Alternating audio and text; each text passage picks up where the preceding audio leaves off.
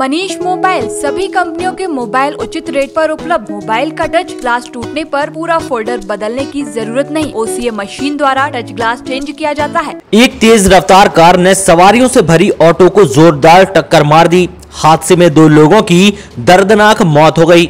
वहीं इसमें तीन लोग घायल हो गए हैं, जिन्हें अस्पताल भेजा गया।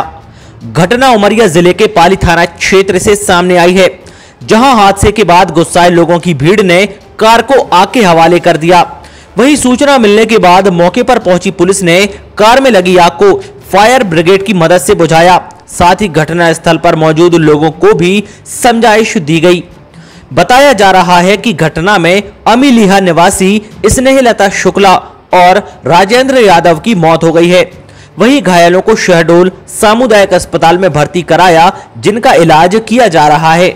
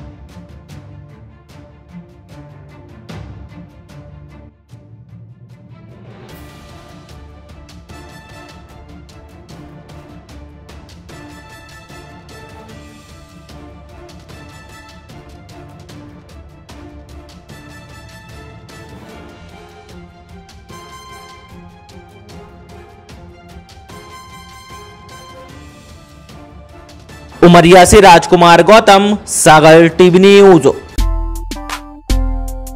Manish mobile, सभी कंपनियों के मोबाइल उचित रेट पर उपलब्ध। बजाज एवं एचडीबी से फाइनेंस सुविधा। Mobile repairing parts wholesale rate पर मोबाइल का टच ग्लास टूटने पर पूरा फोल्डर बदलने की ज़रूरत नहीं। ओसीए मशीन द्वारा टच ग्लास चेंज किया जाता है। हमारा पता है, नगर निगम मार्केट, आर्य समाज स्कूल के सामने, सागर, मध्य प्रदेश। हमारा नंबर है nine nine nine three seven zero six eight three nine eight seven seven zero zero six nine seven eight eight